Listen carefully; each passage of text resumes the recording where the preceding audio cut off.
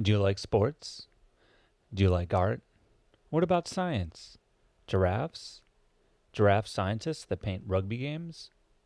It's all available on Audible, the biggest audiobook site with the largest selection of audiobooks this side of the inner solar system. No need to use your boring old eyes anymore. The ears are the future, my friend. Why, you're using them right now. So check out Audible and get your listen on. Go to www.readlearnlivepodcast.com slash audible to start your 30-day free trial today. We're all keeping secrets.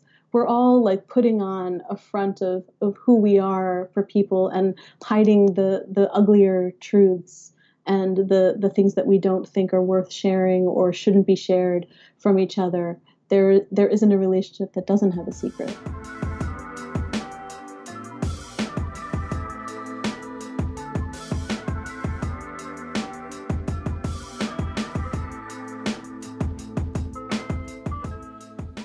Hello, and welcome to Read, Learn, Live, the podcast about improving yourself through literature. I'm your acclaimed host, John Monaster, and I'd like to welcome you to episode 43, the spooky one. As always, if you have ideas for books you'd like to see featured, or of authors you want to put me in touch with, you can reach me at jon at readlearnlivepodcast.com.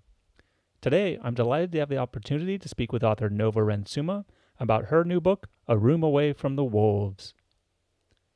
Nova Ren Suma is the author of the New York Times best-selling The Walls Around Us, a finalist for an Edgar Award. Her new novel, A Room Away from the Wolves, is forthcoming September 4th, 2018, from Algonquin. She also wrote Imaginary Girls and 17 and Gone, and is co-creator of Foreshadow, a serial YA anthology. She has an MFA in fiction from Columbia University and teaches at Vermont College of Fine Arts. She grew up in the Hudson Valley spent most of her adult life in New York City, and now lives in Philadelphia. I hope you enjoyed our conversation as much as I did. All right. Hello, everyone, and welcome to the Read, Learn, Live podcast. I am your host, John Monaster. Hope you're having a wonderful day. And I am delighted to be here with author Nova Ren Suma and her book, A Room Away from the Wolves. Hi, Nova. Hi. Thank you so much for having me. Yeah. How you doing? I'm doing good. Ready to talk about the book. Thank you. Good. I'm ready to ask about it. Oh, so many questions. Uh, I don't know. I'm holding this up here, but I have all these tabs. I wrote notes. This book was this book was intense. Um, Thank you. But in a good way. So why don't why don't we just start off and maybe just quickly summarize the book for us? What's it all about? Sure. A Room Away from the Wolves is a ghost story about the tangled bonds between mother and daughter, about complicated female friendship, and needing to find a place to belong. The story takes place when my main character, Bina, runs away from home to stay in a boarding house, a refuge for troubled girls deep in the heart of New York City. This is a house of supernatural secrets, living memories, a door to face the past, while all along its founder, Catherine, watches from a framed photograph on the wall above the fireplace. Uh, so during one intense summer month, Bina will discover that her choice to stay or to go may be entirely out of her hands. Ooh, well, there you go. exactly. Um, so, yeah, n- knowing that, I like to talk a little bit about the kind of creative process, your writing process first, and then we can kind of get into the actual meat of the book itself, which is full of, like you said, just really interesting things. Um, so, yeah, to start off with, what's your writing process like? And I know you've written uh, other stuff before this. You wrote The Walls Around Us. You know, did your writing process change, or do you feel like you've got something that you're kind of sticking with that's worked well for you? Well, I feel like my writing process adapts and, you know, shifts depending on the novel. So this is my fifth novel. Hmm. And, mm. you know, my fifth published novel, I should say, I have two more living under my bed that are not, yeah. not finished. Soon. But soon. yeah, right. So, you know, each novel seems to want something different. Usually, my process is that I really try and get a handle on what the story is in the first, you know, opening sequence. And that mm-hmm. could be the first 30 pages, it could be the first 50 pages, the first 75 pages. And I spend a lot of time working on that without really having a sense of where I'm going after that, really like circling and revising and like working on that first page over and over and over again and then once i have that it's like you know i'm i'm there's a click and i'm set free. And then i can really have a sense of what happens next in the story. And then i like leap forward and plan ahead and i'll outline the rest of the book. And this has been my writing process that has worked very well for a number of books. But when i tried to you know take what i thought i knew and bring it into the writing of a room away from the wolves I discovered that it wasn't as easy, um, you know, knowing what came ahead. Mm-hmm. So I thought I had a sense of what the story was when I was working on those opening pages. And yet it kept shifting. It kept revealing something new to me. It kept just telling me, oh no, that's not where I want to begin. I want to begin here. And so this book was a real struggle to nail down the opening moment. And mm. I kept rewriting what I thought would be the first chapter.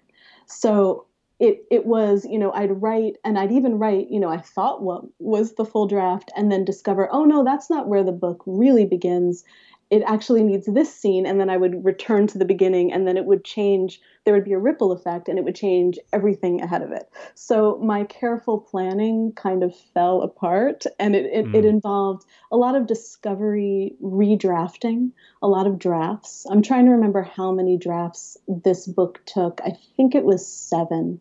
Um, and it was just it was it was an intense process of rediscovery and reimagining what I thought the story was. Mm. Yeah, that's really interesting. I mean, do you feel like that? And, and so you're saying that that is very different than what happened before. I mean, what was it about this story that really led to that happening so much? I mean, were you were you personally connected to it? Was it changing and um, in reference to other people and editors coming back at you, or was it just kind of your own? Like you'd be on a walk and you'd be like, oh, like I need to go this. Oh, oh this is how this connects now. I think there are two two parts of this. So yeah. there's the, the first part is the outside voices and you know the industry and the expectations, right? Mm. So the book that I had finished before this, The Walls Around Us, it got a lot of attention and it it felt like you know new readers found me and it, it got a lot of really wonderful accolades and and so the outside forces the the pressure of oh, now you have to write something really fantastic next, really brought out a lot of fear and, and made me question myself a lot. So I think that that was part of it. I think mm-hmm. that I was unsure and I was, oh, no, maybe the book should be this. Oh, no, maybe it should be this. And I kept basically changing what I thought I wanted to do here.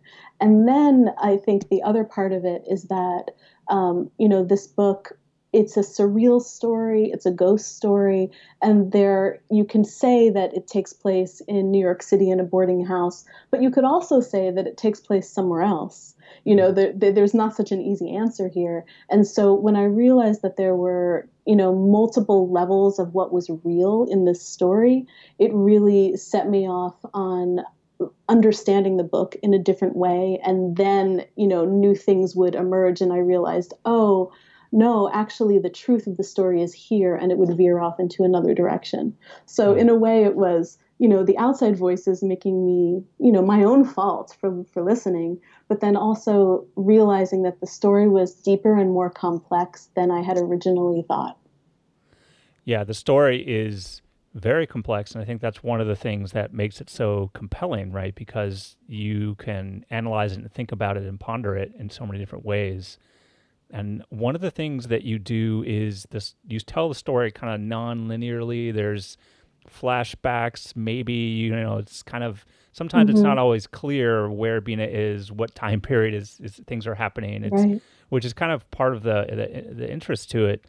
You know, wh- why did you decide that that kind of fragmentation and that style would lend itself to this story? And it seems like from your, your, what I read about your last book, it's it's kind of similar in that you you don't just kind of go from A to Z.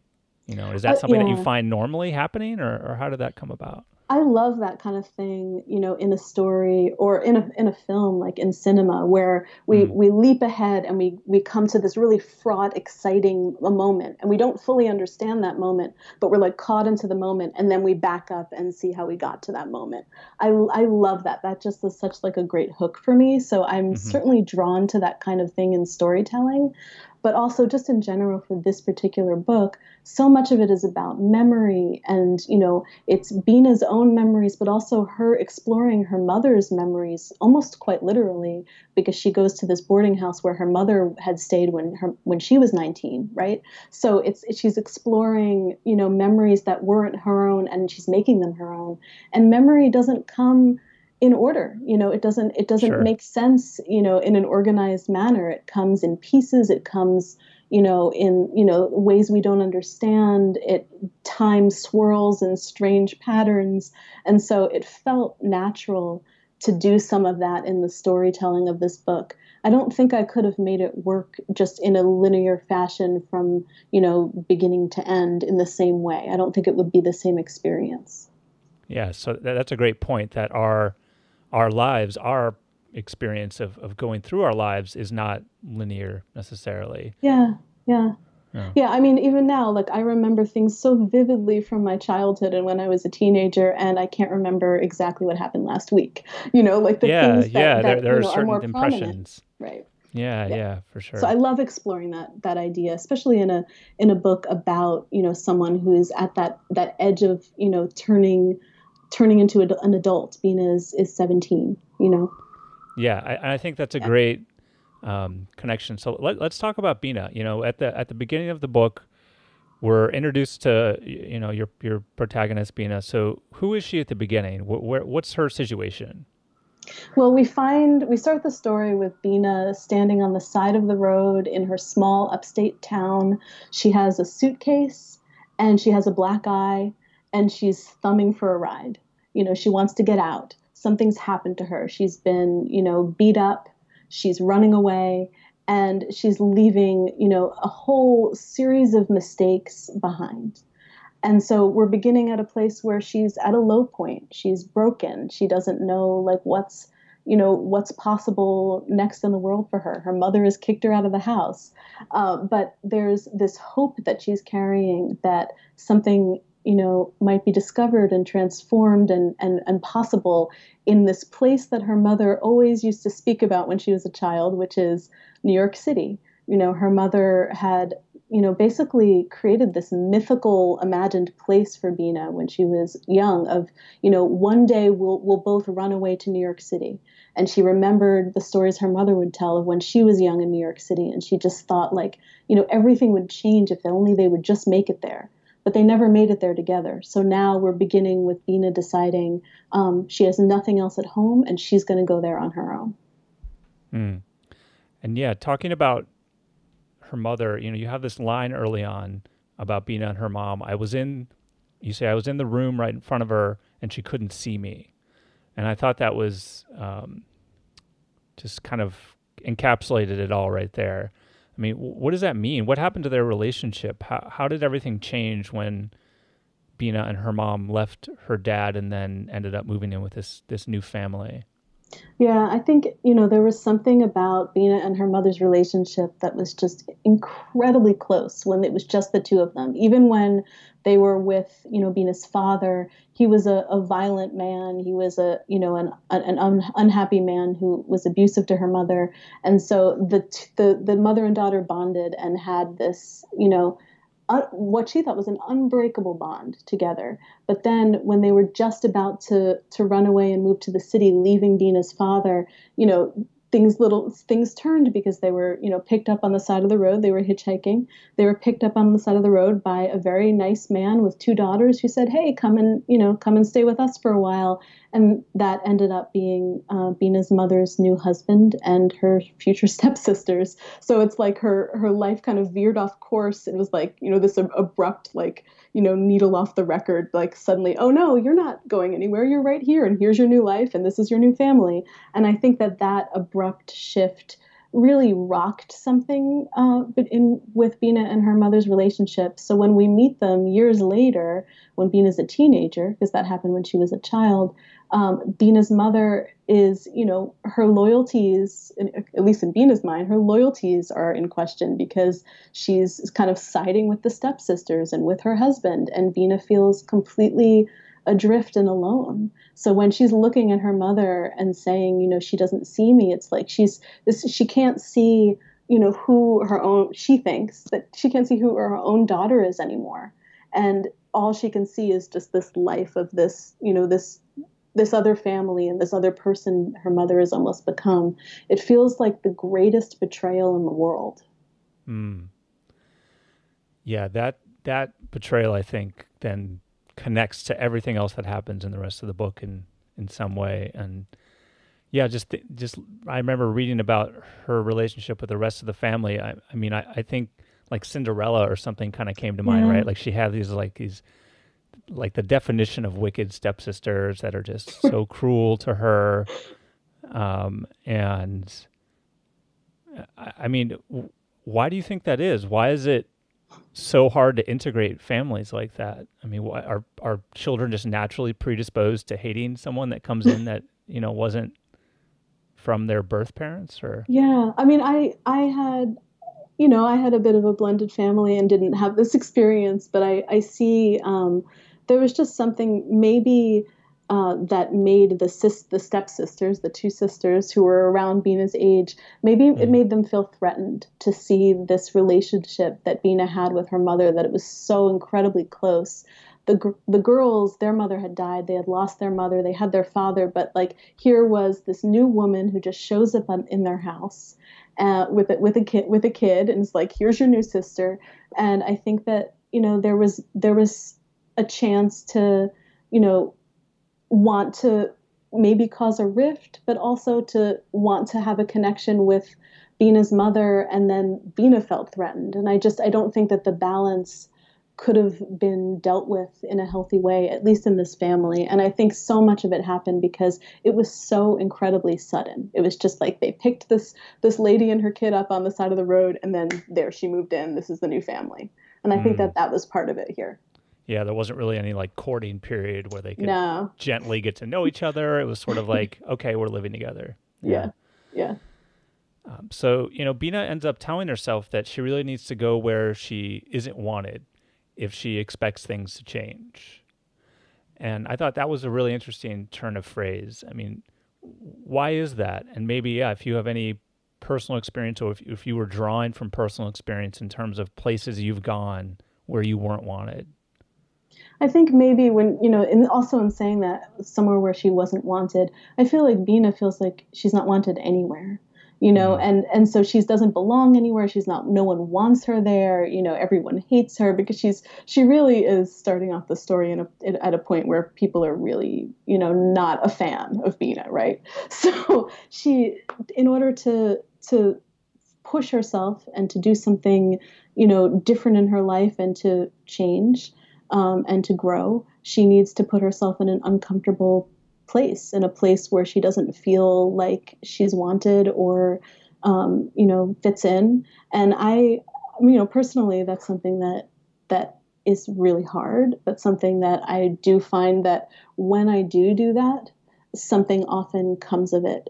When i do the things that i'm most afraid of you know and i go the places that that scare me the most um, in terms of you know with my writing career or you know my teaching career or something involving you know in my life that's often the time when something really transformative happens and i look back and i think oh that really was the right choice. You know that mm. really was the, the the thing to do that that scared me. And i think bina is just scared that no one will want to you know will like her or want to be around her that's what scares her. And she needs to to put herself out there and find out, which is what she does when she moves to this whole new boarding house full of strangers. Yeah, she really does. she definitely takes that leap. Um, so yeah, let's let's talk about Catherine House as as you know when she gets there, then you know dominates the book, uh, literally the house itself. And you know, uh, what is Catherine House? What does it what does it mean to Bina? Well, Catherine House, uh, you know, first of all, it's a it's a boarding house uh, for young women only, and it's in New York City. New York City. There used to be a number of these boarding houses in in Manhattan and in Brooklyn, in New York. They've kind of like faded out of existence, but they used to exist for you know young young professionals to come into the city and and try an internship or a job or to study at a university. And so um, you know, in researching the history of you know parts of of the city I was very inspired by that. But then I of course imagined things a little more ghostly you might say. Yeah. So, so, I would definitely you know, say. yeah. So for Bina you know it's it's this place that I mean for her because she knew that her mother once stayed there and the mystery of you know, she knew all she knew is that her mother had the happiest time of her life when she was staying and renting a tiny little room, uh, you know, in Catherine House. And she doesn't know why her mother left. She doesn't know why that happy time, you know, ended right away. She's this is a mystery to her that she's trying to unravel. And so it's almost like her going to this place. She wants what her mother had, but she also wants to find out the answers that her mother has kept from her. And the longer she stays, the longer she discovers that there are more secrets, um, magical and otherwise, that her mother never ever told her about involving Catherine House. So you know, it's it's a it's a dreamlike place, but it's also you know a place again of of Bina's mother's memories, and it's a place full of of possibility for Bina, for you know a, a time, an opportunity for her to absolutely transform. Yeah. And, you know, you mentioned secrets. One of the things that Bina had to do before she was kind of allowed in is it, there's a lot of stuff, but one of them was this vow of secrecy. Mm-hmm. And uh, the woman that's running the boarding house, Miss Ballantine, kind of is very serious about this. You must take this vow of secrecy before you're allowed to live there. And, um, you know, I was kind of struck by that. And I just wanted to find out from you maybe what you thought the reason was. You know, why is it that secrets are so important to us and how do they hold the house together? How mm. do they bind the girls and miss ballantine and maybe even catherine all together? I always you know there's always that that thing of, of wondering the person who's closest to you, you know, what secrets are they really keeping from me? Mm-hmm. And I think, you know, with Bina, the the secrecy here is that she knew her mother stayed in this place. She never knew anything about this vow of silence and this secrecy, you know, this the, this vow that, you know, you can only share what happens within this house with, you know, your your direct descendants, your daughters, right? Your your you know, like women who are connected to you and your family. And her mother has never never shared any of this with her that she soon discovers is happening in the house. And so it's almost like, you know, it's this this secret that is an even greater betrayal than her, than her mother kicking her out of the house. I personally love writing about that that deep dark dark secret that's you know kept between two close characters or the secret that basically you know explodes everything in in your mind and you re- rediscover everything you thought you knew was real is is not at all you know what you imagined. Um, so it's just what a fun interesting thing to explore. And i also think you know maybe in exploring it i'm i'm thinking about just like reality in life. We're all keeping secrets we're all like putting on a front of, of who we are for people and hiding the the uglier truths and the the things that we don't think are worth sharing or shouldn't be shared from each other. There there isn't a relationship that doesn't have a secret. Mm. food for thought. So so you know bina's mom lived at catherine house. Bina ended up there too. You know like you mentioned at the beginning Bina and her mom once had a really close relationship, but it, you know, sort of fell apart. And, uh, you know, it's one of the reasons why she wanted to leave.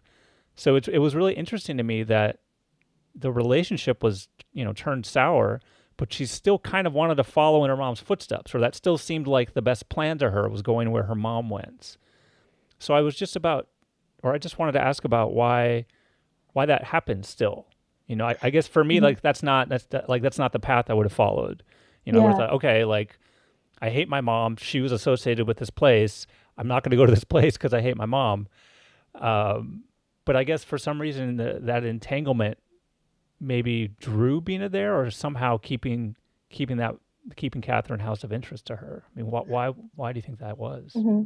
I mean, you would you would think that like her mother has betrayed her, you know she's she's heartbroken and that the last thing she would want is any kind of connection to to this person. You know she just she just she would not want to do anything that her mother had done before.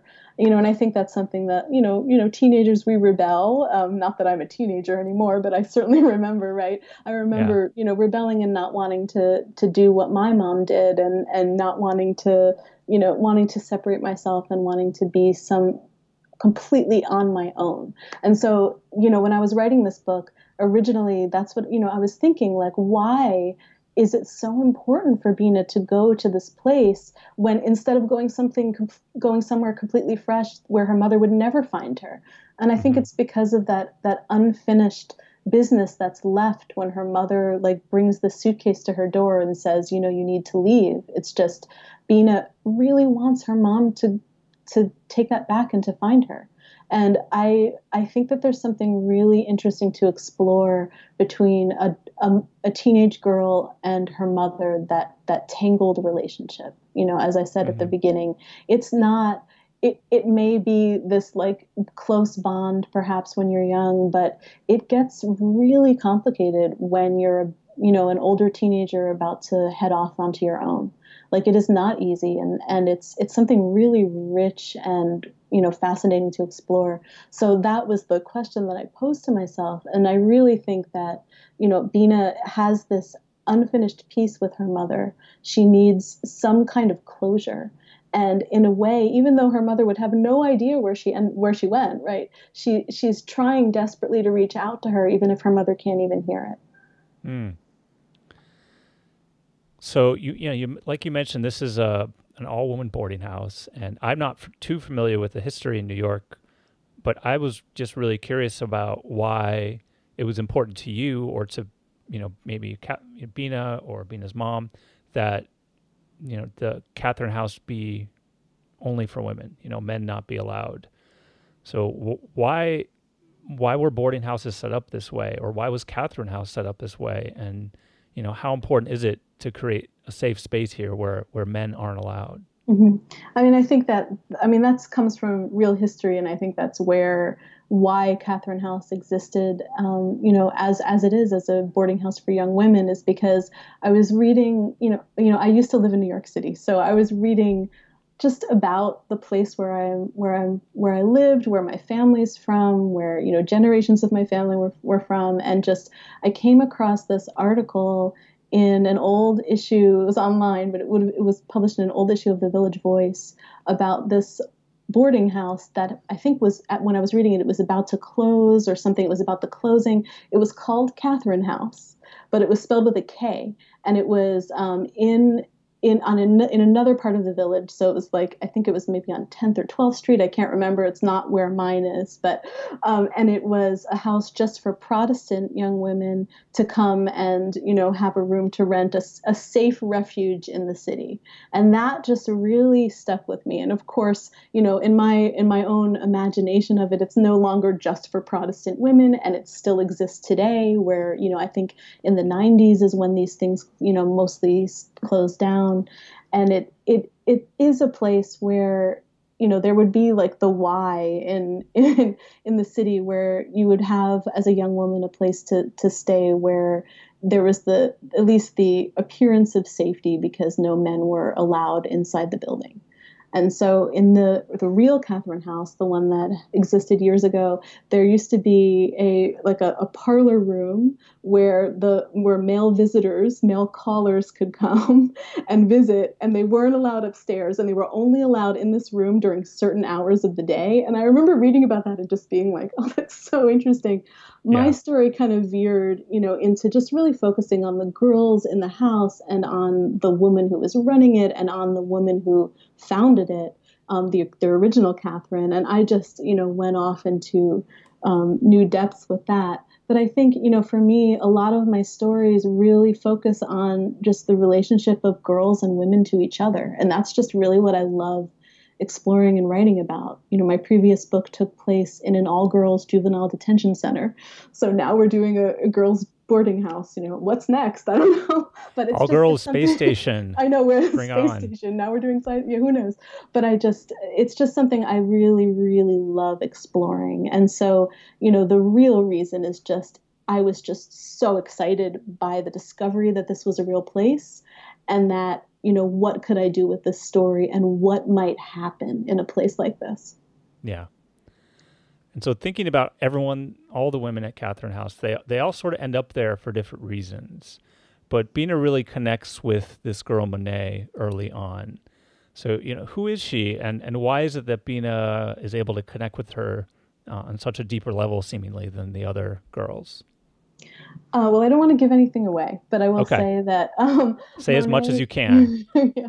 Monet is Bina's downstairs neighbor, so she has the room directly below Bina's in the boarding house. These tiny little, you know, matchbox-sized rooms, and Monet is just a complete and total enigma to uh, Bina. She's just a mystery, and you know, which Bina is fascinated by, but also there are just little little pieces and little clues and stuff where you know Monet is really almost the the opposite of Bina. She she or a better version of her. It's like she's everything that that Bina wishes that she could be.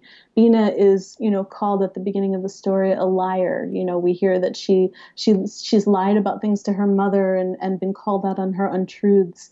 But for example, Monet is a great liar. Monet is, a, you know, spins stories and everyone believes her. Monet is like the liar that you know, wishes she could be. Mm-hmm. So you know, it's just it's almost like a mirror image between between them, but one side of the mirror is a little more, you know, favorably yeah. favorably framed. So there was just something really really interesting to to explore between Monet and Bina and you know who who Bina wanted to be and projecting that onto this other person. But then there's also uh, you know as this book is has many layers and many possibilities and as I tell all my readers there is never a wrong answer and there is never a wrong interpretation. You know Monet also has a lot of similarities with Bina's mother.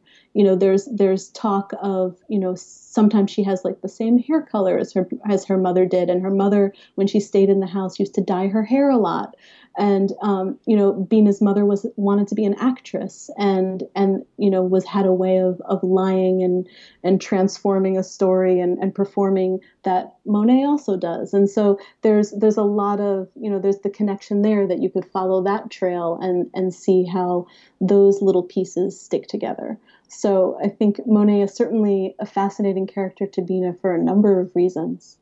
And it was just you know, for me, I'll tell you one of the uh, the inspirations for Monet, just in general, was um, the novella Breakfast at Tiffany's, mm. and just the the you know, there's this upstairs neighbor fascinated by this mysterious enigma of a downstairs neighbor, and that to me is that's the seed of where Monet began, and that's um, you know everything that that follows the the fascination and, and the passion that that Bina has for really trying to figure her out and, and nail her down and, and discover who she is. Yeah, I think that that's really fascinating to me in terms of thinking about the personalities that are inside of us. You know, like you talked about having your kind of your best self in a way and thinking about mm. what that might look like and then comparing that to you know the way that we present ourselves and there's there's just all these different facets to it so yeah that's that's a really interesting way of thinking about that character. Um, you know, and then at, at, one point in the book, you know, she invites Bina to this French restaurant and, you know, is really sweet and just tells Bina she'll pay, she'll cover it. And then Bina really starts to open up in a way that she hasn't opened up to anybody else in the entire book. And, and Monet is eating the whole time. And it was just really like that scene was just uh, really interesting. It was fascinating to me. And, you know, later on, it seems like Bina felt really embarrassed. And I won't give away too much about what happened in the scene, but to me, it was really interesting to, to think about why she might be ashamed about her life. Because all, everyone at Catherine House has something. You know, they, they all came because of a reason. You, you get bits and pieces from some of the different girls there about, you know, what, what ended them, what, what, you know, allowed them to, or what forced them maybe to to come there. why do you think Bina is is still ashamed of her story and you know tells it kind of once all the way through and then feels bad about even that afterwards mm. I mean i think i really loved writing that french restaurant scene because yeah. really it's, it's, it's almost as if you know monet is like eating the whole time and it's almost also she's eating bina's stories. Like she's just yeah. like so hungry for everything. Uh, and bina gives her everything. I mean she just tells her everything. I think you know why why is bina embarrassed about you know her story? Catherine house is a refuge refuge for troubled girls and we get little pieces of why other people ended up there. A lot of them were in some like real trouble you know real like real danger. And i think for bina she's feeling that her her what led her there isn't enough. That like mm. her her story just oh her mom kicked her out of the house. Oh some girls are mad at her you know and like chased her through the woods. Um, you know this this isn't enough. And i you know may, maybe as if you know her trouble isn't large enough and she's not, you know, worthy of being there. And I think that's part of the embarrassment for her. And the sense of like her story is small. But I think everyone's, you know, I, what I'm hoping to communicate here is everyone's trouble and and story is is is worthy and you know the girl who feels like she's not good enough and she's not wanted and she's not you know she just makes mistake after mistake and you know what is the point that that low point where someone could reach i wanted to speak to that girl and you know show this other you know this light at the end of the tunnel in in mm. the book. So one of the other things uh and that we haven't really talked about is Bina's father. And you know Bina's father her original birth father you know her mom and and Bina fled because of you know all sorts of uh, bad things were happening, and and Bina's father has an art studio in New York or an art gallery in New York, and Bina just sort of wanders and seemingly wanders her way there, and you know, and, and, and, you know, Monet ends up with her. And so, what was that meeting like? What's it like in that situation for Bina? Well, she, you know, she hasn't seen her father in years and years, and the last time she saw him, he was just completely disinterested in her and just, you know, like cruel to her mother, cruel to her, and just, you know, not at all what she wanted of him. And so it's almost, you know, she, it's almost like she subconsciously makes her way to the place where she knew she would find him to have again some closure but it's not like he's going to be anything that she wants him to be now. It's not like he's going to turn, you know, magically into the the father she always hoped she had and swoop in and like save her and, and protect her and take care of her. He's a terrible disappointment. And it's it's everything her mother had warned her about about wanting to, you know, reconnect with him. When she when she talks to her mother about wanting to be in the city, her mother's like, "Oh no, you shouldn't go stay with him." you know, he'd ne- he wouldn't want you. He wouldn't you wouldn't want to be there. And so it's it every everything comes to fruition in that moment when Bina sees this man that she hasn't seen in so long and sees that actually, yes, he is not anything that she had wanted him to be. You know, you know, not to get too personal, but I think that a lot of, you know, a lot of my own, um, you know, emotions and uh, experiences with my own father are really, sh- you know, shoved into that scene and really like fraught and like put put there because I don't know. I mean, that's something that's haunted me as much as, you know, a lot of the things in this book are, are little pieces that have haunted me. But I couldn't imagine Bina's story having any like finality or any closure without having confronted that part of her past and this this man and letting go of him. She needed to let go of him. And this visit to the art gallery where he shows his true colors um, absolutely allows her to let go and turn her back and never look back. Hmm. So I, I kind of want to finish up by asking about some of the stranger things that happen in the book, and you can you know uh, let on or respond with as little or as much as necessary to keep keep people in suspense because you know there is stuff that you want to just read about. But you know one of the things that is just very clear during the whole course of the book is that Catherine House is weird and strange and creepy and you know all those odd whatever adjectives you want to use you know, just strange things are happening constantly. And, you know, it, uh, like just even at breakfast, it's not really clear where breakfast is coming from. You know, what what's going on. It's just like she never really sees anyone serving or cooking breakfast. You just put it in order and food shows up. And it's, you know, or Catherine herself is is kind of Catherine's there in this picture frame, like you mentioned, and that she seems to move and change and shift and stare and and have some direct connection to Bina, and it's it's all very bizarre. And you know, Bina has a very interesting reaction to it. I think you know, uh, how is it that Bina is dealing with this reality that she's presented with? You know, and how how might that be different from what people might normally do? Yeah, I mean, there's some, there's certainly something going on in Catherine House. Once you open that gate and step in, something shifts and change and changes, and what even is really happening there? You know, is that house even in existence? You know, is the big question. Yeah. But I mean, I think there's there's a ghostly there's a ghostly aspect to the story centered on the the woman in the picture frame who is Catherine, who this house had originally been hers, and she after she dies in a mysterious accident, um, you know, the house is then gifted to um, an estate that is running it for you know young women to stay in, and so I just I think for me, I can't imagine writing about a place in New York City without thinking about all the layers of history and you know just even like walking a corner and like thinking of just like all the many things that had crossed that corner and occurred there and that are then like wiped out and like something else steps in and takes its place. And it's just one of the things i love so much about the city. So when i imagine this place i imagine the past as as active and urgent as the present.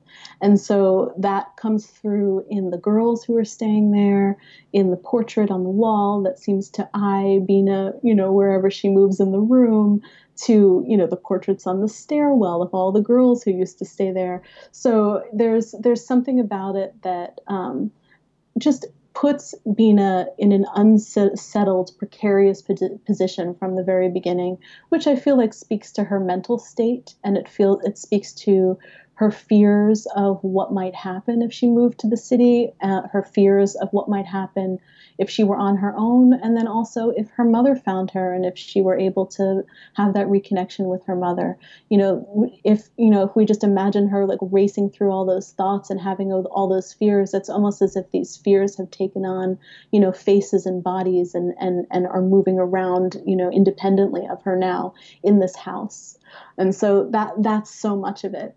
But also um, you know i'm just someone who loves a good ghost story but i also get very frightened yeah yeah. Um, so when i was um, i was away at a writers colony uh, when i was um, after i'd finished writing the walls around us i was writing another book and it was in a in an old house and if you know, there were quiet hours during the day, and I would go down during the quiet hours and I would pace the carpet in front of this portrait of the woman whose house it was. Her name was Katrina, not Catherine, but um, very close. I, we were very close, but I swear it was watching me as what? I was like I like it's just you know how portraits like yeah yeah like yeah. follow you, but you know when you're a writer, your imagination kind of like gets the best of you. So there is a lot of the real house that I stayed in in this book, and hmm. actually when I was I went to this colony to work on a totally different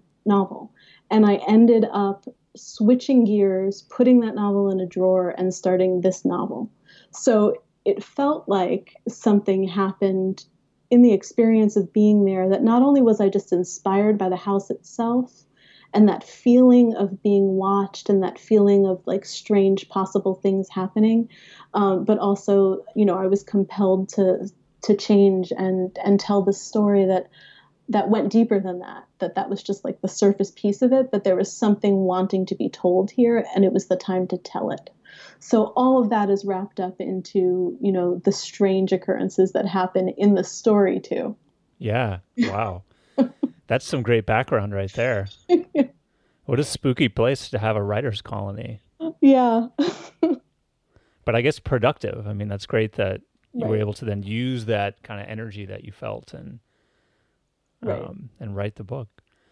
So I, I want to just wrap it up with a couple quick questions here. Uh, so I love the title of the book, A Room Away from the Wolves. And, you know, I thought a bit about that you know, like who who are the wolves here? You know, Bina locks her door a lot, and seemingly doesn't want people to come in, and you know, and she's she's escaping seemingly from men. They can't come in. Maybe the other girls can't come in. I, I don't know. I, I, was just trying to understand better. You know, who who are the wolves here? Who are Bina's wolves? And and do we kind of have our, our own wolves that will that you know mm. maybe we need to build places to keep out? Yeah, I mean, I think we all have our own wolves, don't we? I mean, so the the title is based on a quote from Good Morning Midnight by Jean Rhys. It's a room is a place where you hide from the wolves outside, and that's all any room is. And that, you know, that story takes place in a, you know, I think she was staying at a hotel or a boarding house somewhere in Paris, and the the wolves for that character were completely different. But I was just really taken by that quote and the idea of, you know, anyone against you is are the wolves right like mm. and and sometimes you get to that that place that fragile place where it feels like everyone's against you and it feels like there were wolves surrounding you and they're about to you know just like voraciously attack you right and it feels like that when you're in a, really really low place so for for bina i think that the wolves are everyone at home that wants her gone. It's those girls who were chasing her through the woods. It's her it's her own family. You know, it's it's you know, it becomes her her father who didn't want her. It's it's everyone who is, you know, not on her side. And I think, you know, I do think that we all imagine that we have, you know, those people who are against us, who are who are our, our wolves. And I, I think when you know when I talk about this book, I sometimes have to be like, there are no actual wolves in the story. Right, right. It's a metaphor, just everybody. FYI, you know, yeah. If you're if you're expecting a book about wolves, this is not it. but you know, the wolves are are are figurative and you know are are you know our fears. You know, as as much as you know everything inside us can can be our worst enemy. You know the wolves can be anything. And it's just a matter of of finding a way to get beyond that and to just live you know for yourself in a positive way beyond that. And i feel like you know i'm i'm reaching toward that with bina um, and you know just even you know as a as a writer as artists as creative people like hearing you know our own wolves our own our own doubts our own fears of like what what could possibly happen you know if we if we write this or if we don't write this. You know we're all fighting against that. And i i personally was fighting against that when i was writing this book.